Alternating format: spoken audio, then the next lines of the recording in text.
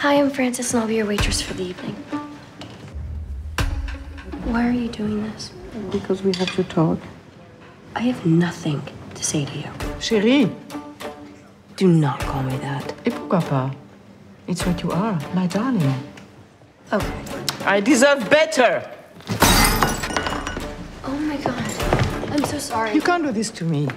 To us. Are you a child? No, you're the child. You need someone to love, to hold you, to console you. You love someone and you're afraid to love. We both know it's true. Don't you dare talk to me about my mother. Darling, don't you understand? She had to die.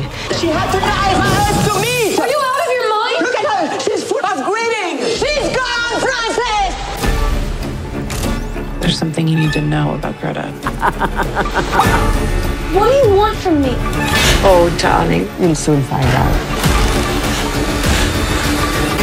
We all have our secrets.